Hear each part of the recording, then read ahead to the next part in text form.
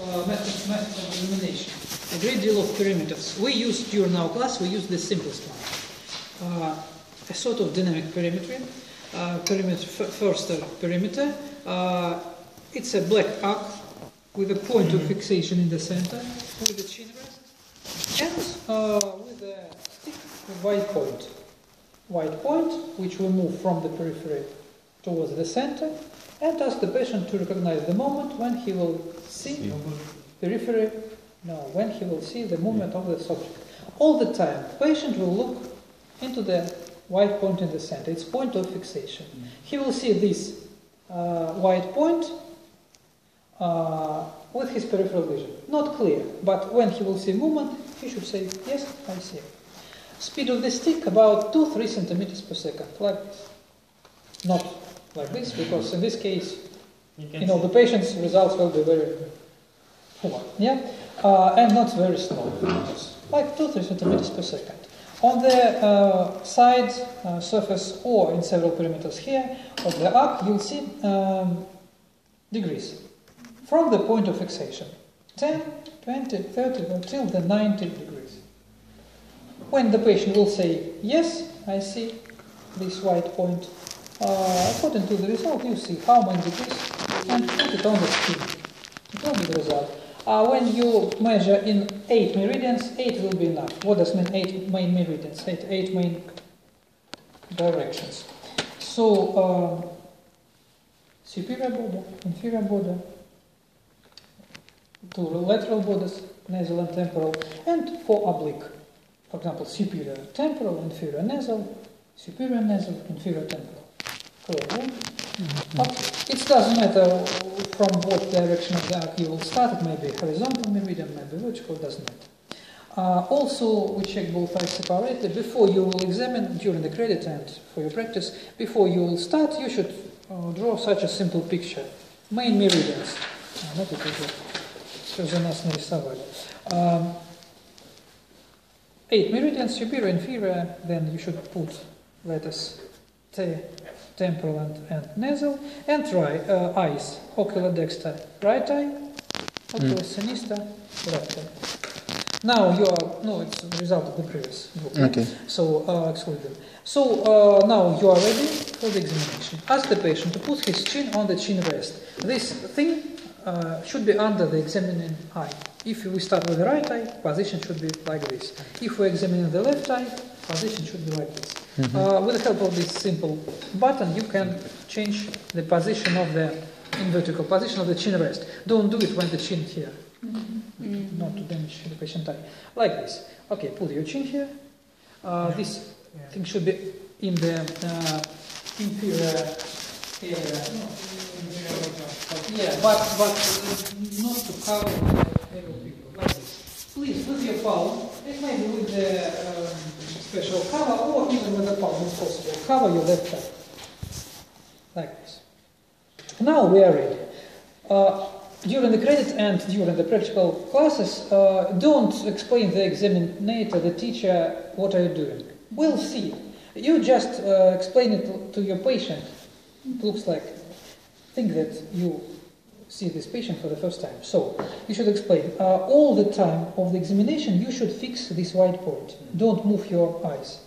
Uh, with my uh, white stick, I'll move this white object towards the, from the periphery towards the center. At the moment when you will see it, of this white object, second object, you should say yes or I see something like that. You see the movement or the white object? The white. You should see the white object the white point. Uh -huh. Because of course you will see my hand somewhere here. You should fix this object but see the movement of this white small one.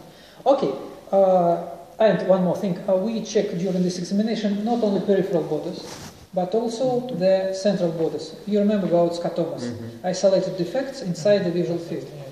Maybe normal peripheral borders in several types of disorders, but scotomas inside. It will be, I mean, patient's answers will be like this some, somewhere here, yes, I see, but then somewhere here disappear, disappear then appear, appear, appear again. It means this area is scotoma. Mm -hmm. And also on the scheme, on the scheme you can draw this scotoma and then suppose what does it mean. any disease of the retina, the optic nerve, and so on. Okay, cover your left eye and let's start. So, mhm, like this. And we move slowly, 2 3 centimeters per second. You can see, don't stop. I put my finger to, to remember, yes? My memory is not as yours. okay, uh, oh, about 57, we usually uh, 55 or 60. I mean, it's not necessarily to write 58.3, yes? No, about 60 because also we usually add several degrees because you understand that it will take time from the patient will see to the moment when he will say and you will stop. At this mm. moment you move a bit here. So it was 60 degrees. It was superior border of the right eye. Agree? Mm-hmm. Mm-hmm. Okay, let's continue. Again, again, no, no, no, the same eye. The same. Do, don't remove, because we should check innate meridians. Cover your left eye. Mm-hmm. One more, one more time, cover, cover, because we uh, check all the visual field borders. You can see somewhere here is about 70, yeah? No disappearance? No. 70 degrees, inferior border. Then we change uh, position of the arc in the horizontal meridian and also continue. You see, uh, don't forget, you see my position, opposite the patient. I can control his fixation. If the patient, several patients, especially old patient, they, or even child, for example, they try to sometimes to show results better than they really have. They begin to move their eyes, try to find. They wait the movement of the object, and of course, result will be wrong. For example, patient really have constriction of the visual field, but if he will move, turn his eyes, of course, he will see the object even earlier than the normal eye.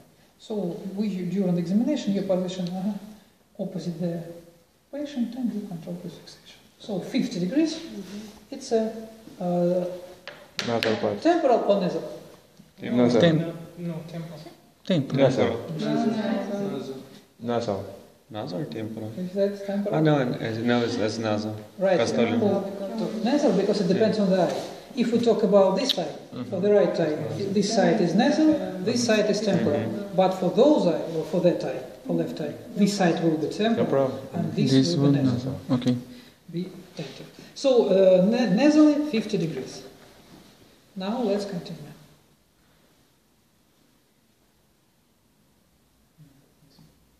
You can see about 80 degrees. Temporal, yeah?